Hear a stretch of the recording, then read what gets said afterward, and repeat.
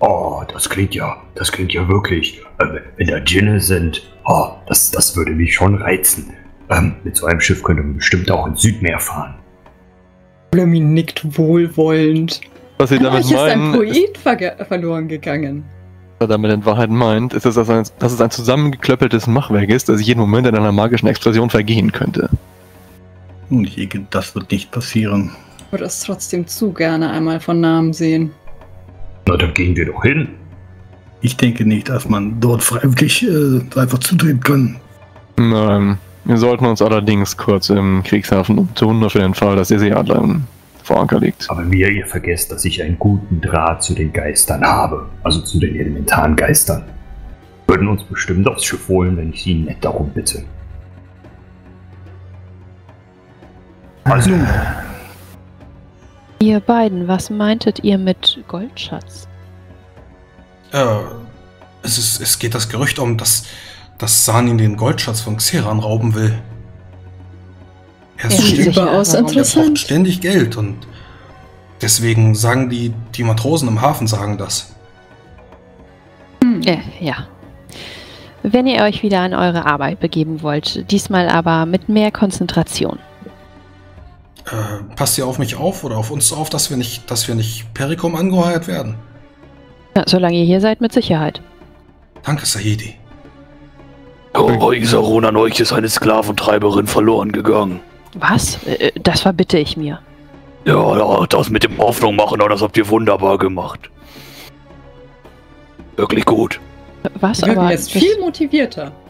Ja, Ast rein, Isarun. Oh, da, da hätte noch so mancher bei uns auf der Plantage was lernen können. was ich verstehe nicht. Gewalt ist nicht immer der beste Weg. Richtig, Hoffnung muss man schüren und dann zerstören. ich Ah. glaube, ich glaube, was Rafim sagen will, ist, dass ihr ihnen das Gefühl der Sicherheit gegeben habt, dass wir ihnen hier bieten können. Und so Richtig. haben wir äh, loyale und gute Mitarbeiter gewonnen, keine Sklaven. Ah, äh, ja, ja, genau das meinte ich. Äh, Sie sind doch sicher hier, während Sie für uns arbeiten. Das ist doch vertraglich festgelegt.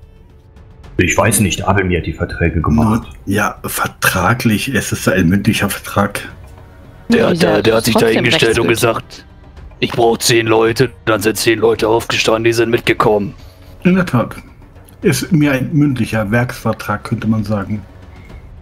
Nun, die sind trotzdem rechtsgültig und äh, selbstverständlich sind wir bzw. Abelmir als äh, Vertragsnehmer ähm, dafür dann für ihre Zu Sicherheit zuständig. Ja, aber Das solange, versteht sich doch von selbst. solange hier der au, äh, alte äh, Die- die- Zause dieser ähm, Der Fürchte Breios. Breios, genau. Äh, solange der hier ist, wird doch sicherlich niemand ähm, den äh, Leid zufügen. Ja, bestimmt nicht. Er ist doch so ein netter Mensch. Aber er ist, glaube ich, auch 120 Götterläufe alt und vermutlich nicht mehr so schnell zu Fuß. Äh, Das stimmt wohl, aber in den Tulamidenlanden verehrt man doch die alten Herrschaften, oder nicht? Oh. Nun ja, wie wir wissen, kommt Sani nicht aus den Tulamidenlanden, aber lassen wir das. Ja. Mhm. Nun, er wird wohl kaum selber hierher kommen. Wenn doch, dann äh, reden wir mit ihm.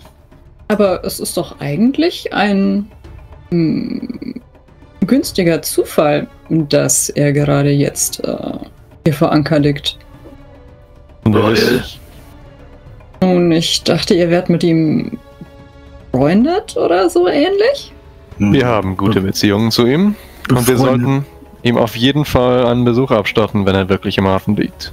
Mhm. Ich würde ja eigentlich sagen, dass die Seeadler von Beilung vielleicht ein wenig auffällig wäre, aber wenn er selbst vorhat, gegen Xeran vorzugehen, dann sollten wir zumindest sicherstellen, dass wir uns nicht in die Quere kommen. Wenn er vorhat, seinen Goldschatz zu rauben, sollten wir mitmachen. Denn dies wird nicht gehen, ohne Xeran selbst aus dem Weg zu räumen. Ja, aber du weißt doch, neun Zehntel von dem Gold. Und Rafim, Rafim, sag mir, wie viel sind neun Zehntel von so viel, wie ihr nicht mal Ja, zählen könnt könnt? ihr es unterscheiden? Ja, Oder glaubt ihr, dass seine Männer es können, wenn sie in diesen Palast hereinstürmen?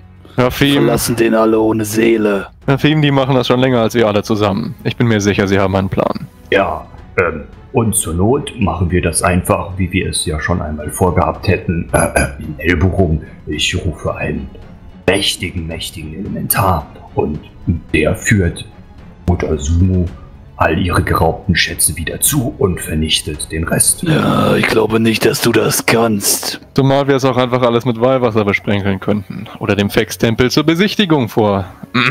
Ja, aber. dem Fex-Tempel zur Besichtigung du warst, du warst doch anwesend während des Verhörs, oder nicht? Wohin diese Goldberge enden. Dass sie nicht auf Dere enden. Und Rafim, dann, Das dürft ihr hast halt, du gehört. dann darfst du halt im Gegensatz zu Xera nicht so gierig sein, dass du deine Seele daran verlierst. Vielleicht sollten wir den Bären erst fangen, bevor wir ihn verkaufen und vierteilen. Kommt, sehen wir uns im Kriegshafen um. So könnt Falsch. ihr in Richtung des Kriegshafens gehen, denn äh, die Tagelöhner arbeiten auch ohne euch. Ihr könnt schon von weitem äh, die drei hellenisch getakelten Masten erkennen und den schlanken Rumpf. Eine Trireme mit von Raubvogel gleicher Gestalt. Rot-Weiß-Blaues Reichswappen auf dem Segel und ein golden glänzender Bugadler mit drohendem Schnabel verdeutlichen, dass sich dieses Schiff von keinem Gegner verstecken muss. Ihr könnt vereinheitliche Rotzenkaliber erkennen, Harpunale, ein Bock, ein Rammsporn. Dieses Schiff ist ein Kriegsschiff und der ehemalige Stolz des Mittelreichs. Nun allerdings gekapert und äh, während ihr gerade am Hafen steht und euch die Seeadler von Beilung betrachtet, die seit vielen Jahrzehnten hier im Perlenmeer kreuzt, um Piraten und Dämonenpaktierer zu besiegen, könnt ihr erkennen, wie direkt neben euch in einer der Tavernen im Sold und Säbel äh, ein Schild angebracht ist, auf dem ansteht, äh, dass gerade rekrutiert wird. Wenn wir jetzt da reingehen, werden die versuchen, uns zu Berry kommen. Nur so ein Gefühl.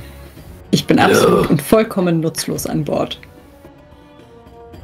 Auch keine Vielleicht. Sorge, das Seemannshandwerk lernt man relativ schnell. Vielleicht Nun, sollten also wir uns nach den Offizieren umhören. Ja, Das ist ja nicht das erste Mal, dass wir auf diesem Schiff sind. Man wird sich vielleicht noch an uns erinnern. Äh, fragen wir doch einfach diesen Haubentaucher. Weiten. Eben mein Sturmtaucher. Ja, ist doch das Gleiche.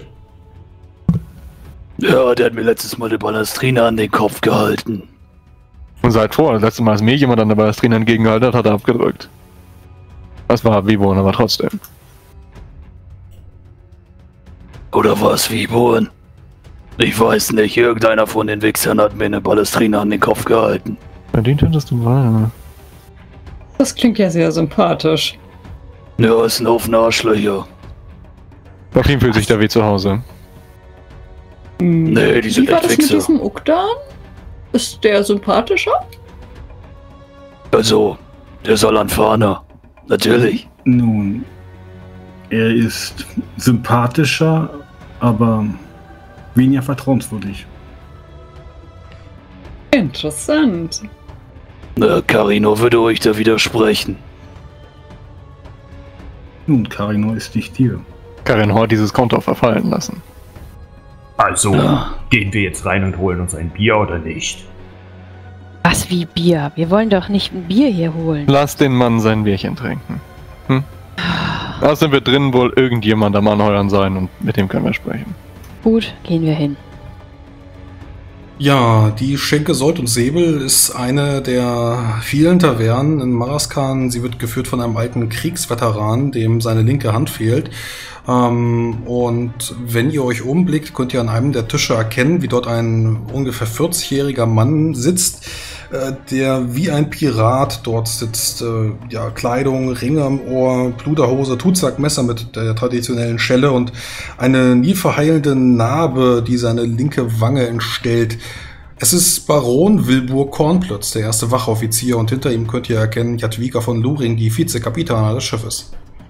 Ähm, vor ihnen steht nur eine einzige Person, die gerade wohl anheuert und sich da wohl als Söldner verdingen will. Viel ist nicht los. Die Leute haben mittlerweile äh, erkannt, dass diejenigen, die mit der Seeadler fahren, viele kommen nicht zurück. Ich trete vor den Tisch. Hab gehört, ihr bietet schlechte Bezahlung und harte Arbeit? Äh, keine Bezahlung. Schnattermoor, schön, dass ihr hier seid. Und Perlenmeer. Ihr seht. Baron Perlenmeer. Also mittlerweile. Ich, ich setze mich dann irgendwie, ziehe irgendwie einen Hocker heran, setze mich so seitlich an den Tisch, an dem er hockt. Lange her, lange her. Er holt einen Zwicker aus seiner Tasche und er setzt ihn sich auf, was überhaupt nicht zu ihm zu passen scheint. Aber seine Augen sind wohl alt geworden. Könnt erkennen, wie das, äh, ja, die salzige Seeluft sein Gesicht gezeichnet hat. Und äh, er kneift die Augen nochmal ein bisschen zusammen. Goldene Hand, davon habe ich schon gehört. Schnattermoor, wollt ihr wieder mitfahren? Vielleicht. Wir haben gehört, ihr habt große Pläne. Große mittlerweile Pläne, was habt ihr denn gehört? Ich blicke mich um, es sind wir so halbwegs außer Hörreichweite? Äh, Also wenn ich jetzt irgendwie die Stimme nein, senke? Nein, seid ihr nie. Aber äh, die Leute unterhalten sich. Jeder erzählt dir hier irgendwie seinen Seemannsgarn und äh, es Ja. ist halt ein Gespräch wie viele andere auch. Man sagt, ihr wollt dem Buckligen den Beutel leer machen. Was? Wer erzählt denn sowas? Nein, keine Sorge. Er wirkt ein bisschen erleichtert. Interessant. Ja, aber äh, was die Bezahlung angeht, wir können euch keine Bezahlung bieten, aber mitfahren werdet ihr sicherlich können, wenn ihr die Tests besteht. Reservik ist äh, da mittlerweile ziemlich hart geworden, weil er keine Schmarotzer an Bord mehr braucht. Ach komm schon, ihr bezahlt schon nicht und dann wollt ihr die Leute noch testen? Könnt ihr Hey, es das ist eine, leisten? es ist eine große Ehre. Der Seeadler ist äh, eines der besten Schiffe, die man hier im Hafen finden kann. Das ist richtig, aber Ruderer mit leerem Magen bringen euch auch nichts. Naja, das Geld, was wir verdienen oder das Gold, was wir bekommen, das geben wir für die, ja, für unsere Mannschaft da aus, aber einen eigentlichen Sold, eine Heuer bekommen sie nicht. Hm. Wir haben guten Zwieback. Wir würden tatsächlich eine Weile anheuern, wenn die Möglichkeit besteht, uns in Medina abzusetzen. Kneift wieder die Augen zu. Kommt ihr eigentlich darauf, dass wir nach Mendena fahren? Ach, man hört so einiges. Also Seemannsgarn, ja. Mhm. Er sieht wieder erleichtert aus. Es Angesichts könnte, der Tatsache, dass du aber ja schon zum zweiten Mal misstrauisch wirst, dass ich ihn erwähne, nehme ich an, ihr habt wirklich irgendwas im Busch. wir fahren nach Norden, mehr kann ich nicht sagen. Pass auf. Und kommen wir morgen früh nicht auf dem Schiff vorbei. Dann sprechen wir mit dem großen Mann selbst, hm? In Hm. Ruhe. Nicht in Werdet der ihr, Taverne. werdet ihr sicherlich machen können, äh, wenn die Wachen euch vorbeilassen. Aber ich denke, das geht schon. Ich werde ein gutes Wort bei ihm einlegen und vielleicht kann Sanin dann. Geht schon, oder? Danke, er geht sich ja mal rüber zu äh, Jadwiga, die nickt auch nur ziemlich mürrisch. Ja, ja, wir kriegen das hin. Ich wollte ungern mit meiner irgendwie illustren Begleitung wieder mal unangekündigt auftauchen. Ihr wisst ja, wie das immer bei den Wachen rübergeht. Baron Wilbur Kornplitz, der Piratenbaron, lehnt sich so ein bisschen an Jalan vorbei und zu, schaut zu den anderen, schiebt ihnen eine Liste rüber. Wollt ihr anheuern? Nur eine Unterschrift, mehr brauche ich nicht. Nein, danke. Lasst Nein. einmal. Wie viele Leute bräuchtet ihr denn? Nur mal so gefragt. Ah, so viele wie möglich.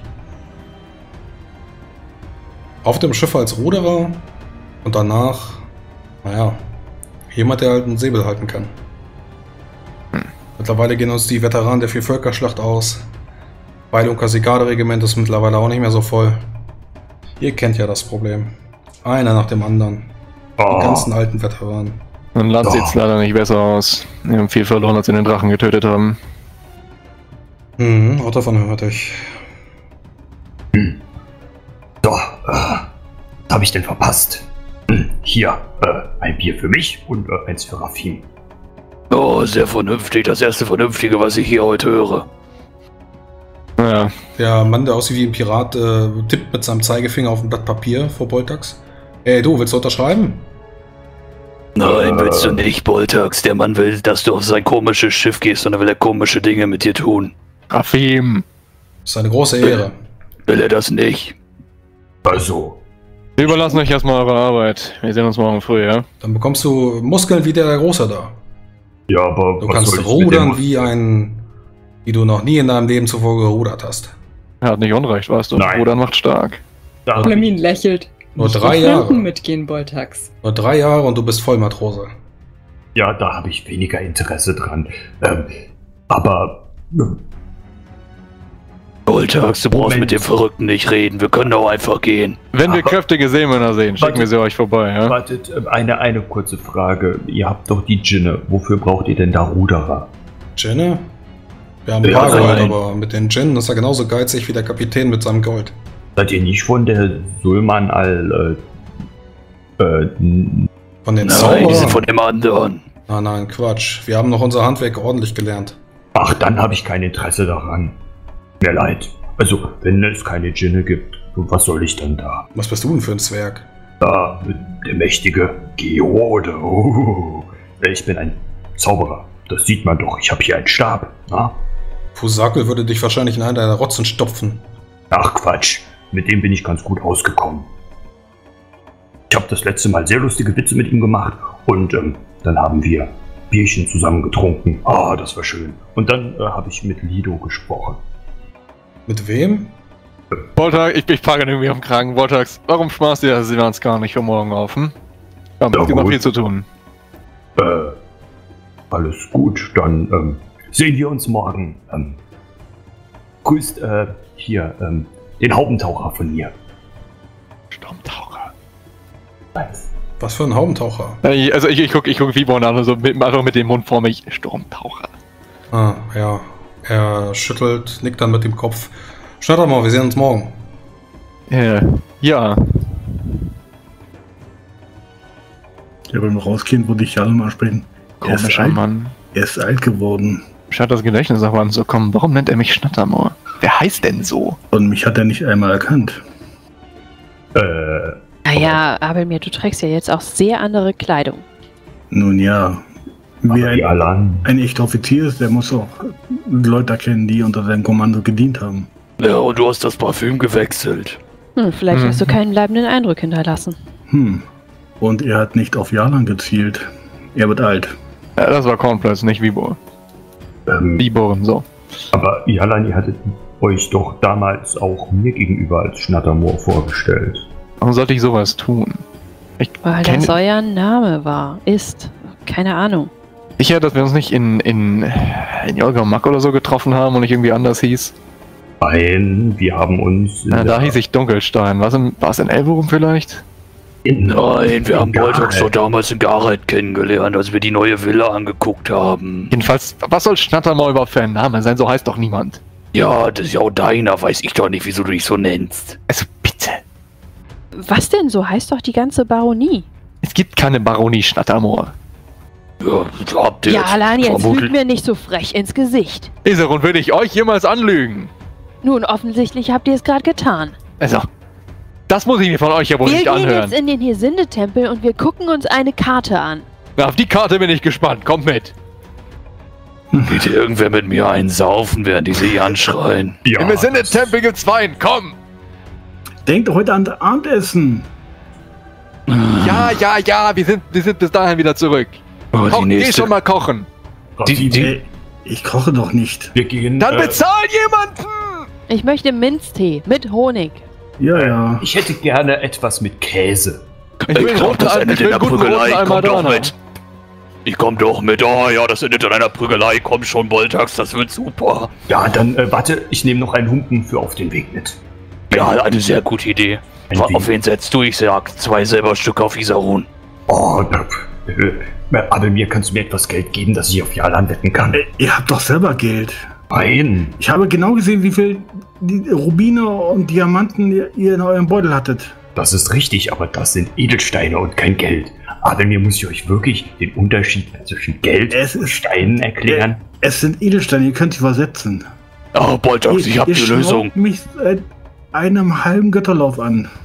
Das äh, kann sein, ich habe aber nie Geld dabei. Das Ihr ist habt Edelsteine, das reicht. Ja, Oh, Bolt, Boltax, ich weiß, wie wir das lösen. Auf jeden Ah. Fall zwei Silbermünzen. Hier, die schenke ich dir. So, jetzt können wir wetten. Okay, super. Äh, ich wette auf Jalan. Ja, sehr gut. Oh, Seht ihr, Boltax weiß, wo sein Brot gebuttert wird. So, jetzt los, auf in den Tempel. Dann hat einer von euch beiden Unrecht und dann fliegen die Fäuste. oh, ich bin gespannt. Delikaterweise direkt hinter dem Raschtuter Bethaus gegenüber liegt der Tempel der magischen Schlange. Der heutige Sint-Tempel Kuntiums ist über 400 Jahre alt und hat ein einfaches Äußeres aus langsam verwitterndem Marmor. Ein auffällig äh, schief stehender, 30 Schritt hoher Sternenturm, der nach oben ragt und nur noch über eine schmale Holzbrücke mit dem dritten Stock äh, erreicht werden kann. Mm, Ihr könnt dann die Bibliothek ähm, betreten. Auffällig alt, vor allem altptolemidische Schriften, die hier gesammelt werden. Ähm, könnt ihr euch dann nach kurzem Herumfragen bei einem der äh, Hesindegeweihten eines der Tonröhrchen geben lassen, aus der er dann eine große Karte von Aventurien herausholt und mit der Recherche beginnt. Nach äh, kurzer Suche kann Isarun tatsächlich dann auch erkennen, wie es im Norden von Tobrien eine kleine Baronie gibt, die Schnattermoor heißt. Allerdings ist sie wohl vor langer Zeit an den Feind gefallen. Ja, dann neigt sich darüber. Da, hier, hier, Jalan, guck mal, da. Isarun bohrt mit dem Finger auf die Karte. Da, was steht da? Ja, aber seht mal, hier ist Bereine Pfoten. Das hier sind, Mhm. äh, sagen wir etwa 100 Meilen. Und Schnattermoor ist noch deutlich rechts davon. Da gibt es nichts mehr. Ja, aber wann ist denn diese Baronie an den Feind gefallen? Hm? Damals, schätze ich. Wie damals? Wann denn damals? Hier, äh, 19. Ja. Aha, und äh, wann bist du geboren? Ja, früher? Ja, mhm, mhm. Also? Isarun, ich werd doch wohl wissen, als wer ich geboren wurde. Ja, ja, naja, früher wusstest du das, aber irgendwann. Bitte, ich bitte dich, ich war schon immer Jalan Greifenmund. Und nicht irgendein Schnattermoor. Äh, Sulamin, ähm, ich habe eine Frage. Ja. Ähm, ich habe mal gelesen, wenn jemand schlimme Traumata erlebt, äh, dass er dann Sachen vergisst. Glaub, glaubst du, dass das hier der Fall sein könnte? Dass ich euch aber gleich mit der Karte haue, das einzige Trauma hier ist Voltags Gesang. Sulamin Hey, hey, runzelt die Stirn. Was auch immer es ist. Er ist überzeugt davon. Natürlich bin ich überzeugt, denn es ist die Wahrheit. Also, ich muss jetzt auch ehrlicherweise mal eine Lanze für meinen Gesang brechen. Das Ohr, das ich seinerzeit von diesen ähm, ähm, Stammesmitgliedern geschenkt bekommen habe, hat sich noch nie beschwert. Erinnert Ja, weil? Ohren nicht sprechen können. Oh, das kann sein. Aber das ist hier gar nicht der Punkt. Jalan, warum lügst du uns an? Warum soll ich, warum soll ich euch anlügen? Irgendein winziges Kaff im nördlichen Tobrien, was juckt mich das denn? Ja, warum macht es euch so wütend? Ich bin nicht mal in Tobrien, weil ihr dauernd darauf besteht, ich bin nicht mal in Tobrien geboren worden, was soll der Mist denn? Äh, was? Jetzt erzählst du aber totalen Quatsch. Bitte? Natürlich, hör dich doch mal an, du hast immer noch diesen leichten tobrischen Akzent. Ich habe keinen tobrischen Akzent, es ist ein, es ist ein Akzent aus Weiden. Ich bin in Weidnisch-Drachenstein geboren worden. Mein Schwertvater war Gregor von Weidnisch-Drachenstein. Der Baron. Das wisst ihr doch. Nein? Und mein Vater war. Mein, mein Vater war. Mein, mein Vater war. Meine Mutter war jedenfalls. Ich bin mir sicher, sie ist noch am Leben. Ja, das ist ja schon mal viel wert. Irgendwas stimmt hier nicht. Jalan, habt, Sie, ihr, seht, seht ihr, ich kann ganz genau erklären, wo ich herkomme. Ihr macht euch einfach nur zu viele Gedanken. habt ihr einmal einen schweren Schlag auf den Kopf bekommen? Freitags. Ja, einige. Also wer nicht dabei war. Zwei von mir. Und einige, wenn du nicht dabei warst. Hm. Äh, vielleicht liegt es ja daran. Ähm, wir sollten einmal ähm, jemanden aufsuchen, der sich gut mit Verletzungen am Kopf auskennt. Ich habe gehört, in war es Perikum? Ich glaube, in der Nähe von Perikum gibt es so eine. Ihr werdet mich nicht in ein. Noenitenkloster stecken. Zulamin legt Jalan sanft eine Hand auf die Schulter. Regt euch nicht auf. Jetzt seid ihr doch ohnehin verheiratet. Was für eine Rolle spielt euer alter Name? Für mich gar nicht. Mein alter Name ist allem ein ganz anderer, aber fragt doch Isarun. Die, die hat doch angefangen. Naja, Warum muss, Du- warum muss ich mich eigentlich von euch so, so etwas einer Sache bezichtigen lassen? Dann bin ich derjenige, der sich ungebührlich aufregt. naja Weil weil du- du dich als, als von Schnattermoor vorgestellt hast, als wir uns kennengelernt haben. Damals Das ist doch absoluter Humbug. Daran Und würde ich mich mit- doch wohl erinnern. Ich kann mich sogar noch an den Schild erinnern. Mit dem Und- Bäumchen drauf. Und Jetzt dem habe ich Schwert. aber die Schnauze voll. Das ist eine Sinde-Bibliothek. Ich verweise euch gleich für ewig von dieser Bibliothek, wenn ihr euch nicht beruhigt. Wir, wir gehen ja schon, Oh, wir gehen ja schon. Gnaden. Nicht euer Gnaden, Eminenz. Ich bin der Erzwissensbewahrer. Oh, verzeiht euer Eminenz. Oh je, wir gehen ja schon.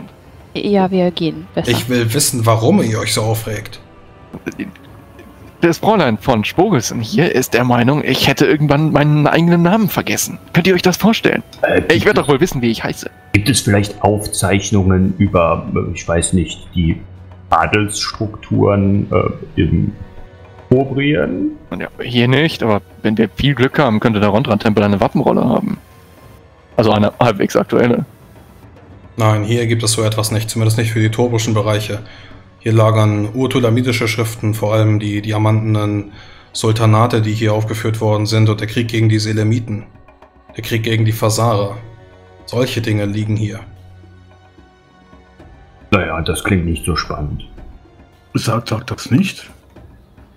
Es, bringt uns, es bringt uns gerade nicht weiter, oder? Äh, Verzeiht, Eure Eminenz, wir, wir, nur, hier sind der heilige Ruf nicht länger stören. Als ob ich mit einem Maraskanern reden würde. Welt ist schön, nicht wahr? Komm, Bruder. Schwester. Raus. Wenn die anderen gehen, lässt sich Zulamin äh, ein bisschen zurückfallen und äh, sagt dann leise zu ihm: Vergebt ihm, Euer Eminenz. Irgendjemand muss ihm seine Erinnerung geraubt haben. Vielleicht ein böser Magier oder so. Er kann nichts dafür. Und faltet die Hände vor der Stirn und verneigt sich respektvoll. Ich schmeiß ihn nicht heraus, weil er sein Wissen verloren hat, sondern weil er hier herumblökt. Es muss verstörend zu sein, nicht mehr zu wissen, wer man ist. Ja, aber solche Gespräche können am Tee ausgeführt werden, nicht in einer Bibliothek. Dann wünsche ich euch noch einen schönen Tag, Euer Eminenz. Ja, ebenso, Geliebte der Göttin.